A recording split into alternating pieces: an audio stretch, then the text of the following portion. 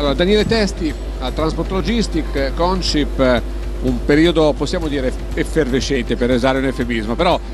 partiamo da, così, un po' dalla presenza vostra oggi a Monaco eh, e quindi diciamo anche dalle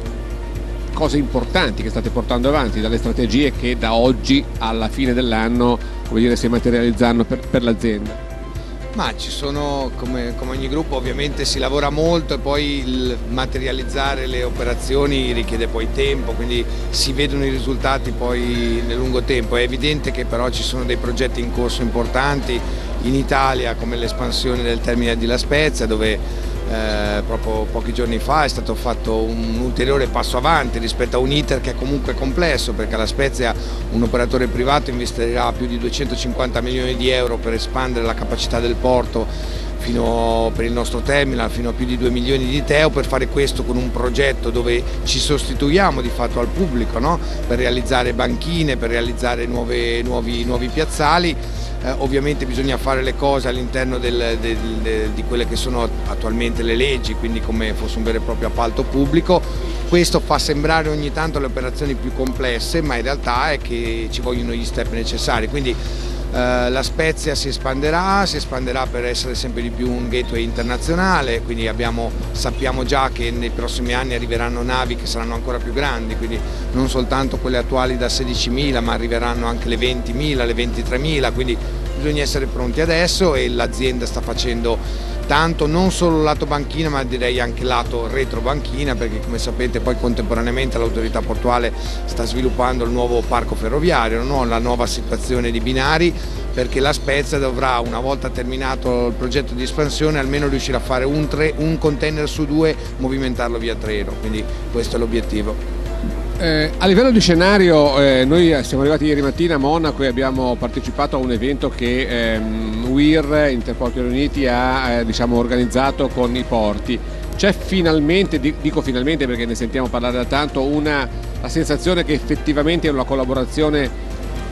il famoso concetto di intermodalità che in Italia è sempre stato piuttosto come dire, è rimasto sempre un po' all'indietro rispetto allo standard europeo, si stia sviluppando in maniera importante. Collaborazione fra i porti quindi e gli interporti. Ce la facciamo finalmente, forse siamo vicini a un'operazione diciamo effettiva.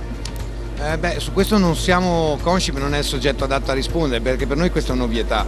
facciamo 50 anni nel 2019 e ricordiamo sempre a tutti quanti che nel 1969 quando l'azienda ha iniziato facevamo i treni da Torino con le parti smontate delle, delle Fiat 124, le portavamo a Foss a quel tempo e poi con una nave eh, fino a Casablanca. Quindi per noi l'intermodalità in realtà è un concetto che è innato con il concetto di terminalismo. I terminal dove Conship opera sono terminal raccordati che vedono nel, nella, nel servizio ferroviario un elemento di competitività per estendere l'area di servizio, per aumentare l'efficienza, quindi poter avere una rotazione delle merci all'interno del porto sempre più veloce. Quindi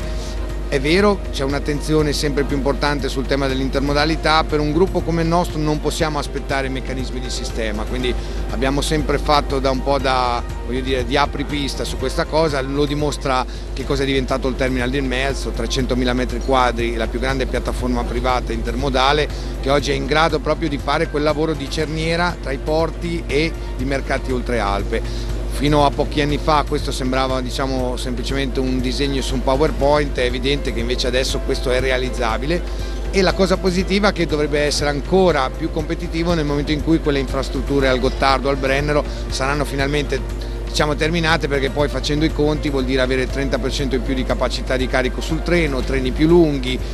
e più pesanti e quindi questo poter offrire al mercato un qualcosa che sia anche economicamente competitivo. Um, off the record un attimo fa parlavamo anche di mercati in, in, grande sviluppo che sono quelli della sponda sud del Mediterraneo dove peraltro il transport recentemente è stata e pochi, tra pochi giorni presenteremo il reportage relativo a questi paesi. Eh, voi lì siete molto attivi. Sì, guarda, guardando le previsioni, uno guarda le previsioni economiche nei prossimi cinque anni, vede che l'Africa è uno dei continenti che a differenza di altre economie più mature eh, crescerà, crescerà con un tasso crescente, quindi eh, a differenza di realtà come gli Stati Uniti, la stessa Europa, non parliamo dell'Italia che ahimè diciamo, vede tassi di crescita di 0, qualcosa. Quindi è evidente che il Nord Africa e il Marocco in particolare ha deciso di trasformare, di diventare una piattaforma moderna ed è stato in grado non solo di sviluppare attività terminalistiche ma di attrarre vere e proprie attività riproduttive. Le 400 e passa aziende che sono state attratte in questi anni nella Free Zone dimostrano che con un mandato molto preciso, facendo sì che ci siano tutte le condizioni di sburocratizzazione, di vantaggio fiscale, puoi creare dei veri e propri nuovi poli logistici. Su Tangeri il gruppo è presente dal 2008 e adesso ulteriormente raddoppieremo la nostra presenza con l'espansione del nuovo terminal. Con Daniele Testi per chiudere non possiamo esimerci di parlare anche un po' di Gioia Tauro perché d'altronde è un tema che è stato di moda, ahimè, per un po' di, un po di tempo nel, nel, nel recente passato, adesso le cose sono sistemate sono sistemate nel senso che l'azienda dal 16 aprile è uscita, quindi oggi non siamo più parte dell'azionariato che è diventato 100% appunto di TIL. Eh, siamo contenti e orgogliosi di tutto quello che è stato fatto negli ultimi 25 anni. Quando Angelo Ravana ha avuto questa idea e poi la Conscip ha avviato il terminal portando le proprie navi, i propri feeder, eh, molti davano quella per una, diciamo, un'avventura senza futuro. Abbiamo dimostrato, seppur con tutte le difficoltà,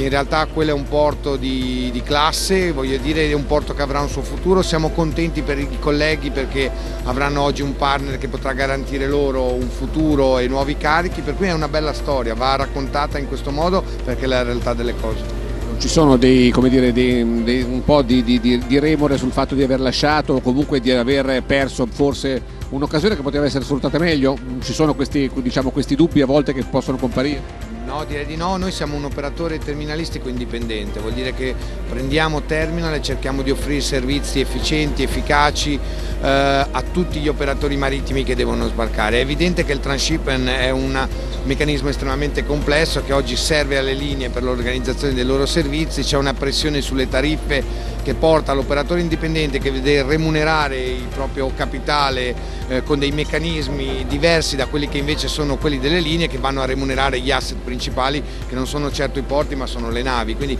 sono due modelli di business diversi, in questo momento un porto come Gioia Tauro è più, diciamo, si è più vicino al modello di business di quella che è una linea di navigazione come MSC rispetto a quello che è la nostra value integration dove è fatta come abbiamo detto prima di banchine ma anche di treni, di trasporti. E quindi direi che in questo momento non ci sono nessun tipo di rimpianto o rimorso, anzi speriamo che a breve si sfrutti quelle caratteristiche per portare nuovi volumi e riportare Gioia Tauro ai livelli in cui è stato nel passato chiudere una seconda parte dell'anno, anzi ultimi mesi dell'anno estremamente attivi, mi sembra, mi sembra di capire, con diciamo, attività di marketing importanti e estremamente frequenti. Sì, normalmente cerchiamo poi non solo di sfruttare occasioni come queste, Transport Logistica ogni due anni è importante, eh, ma è continuamente parlare con i nostri clienti e andare anche dove sono i nostri clienti distanti, quindi nella seconda parte dell'anno programmiamo quelli che sono i nostri roadshow sia negli Stati Uniti, in Nord America sia nell'Asia per cercare di andare a parlare con spedizionieri, caricatori, raccontare le novità, gli sviluppi che stiamo facendo, non dando nulla per scontato, è, dobbiamo continuare a raccontare dove miglioriamo, dove possiamo ascoltare, dove possiamo migliorare far sì che l'Italia sia veramente vista un ruolo, con un ruolo di gateway per le merci non solo italiane ma anche internazionali. Per far questo bisogna prendere la valigetta, come si dice, l'aereo e andare là.